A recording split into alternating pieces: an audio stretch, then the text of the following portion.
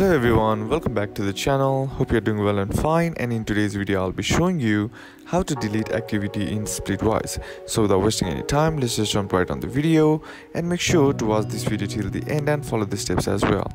So the first thing that you need to do is head over and open up your Splitwise app. Now once you're inside your app, what you need to do is log into your account and once you are logged into your account, what you need to do is tap on the friends icon on the bottom left corner of the screen. Now once you are here, you will be seeing list of persons that you own. Now all you gotta do is just simply select one of the expenses to settle up. And once you tap on that here you'll be seeing something like this. Now all you gotta do in order to delete the activity in splitwise is just simply slide to the right and then you'll find an option saying delete in red button. All you gotta do is simply tap on it. And now tap on ok to make sure to delete the expense.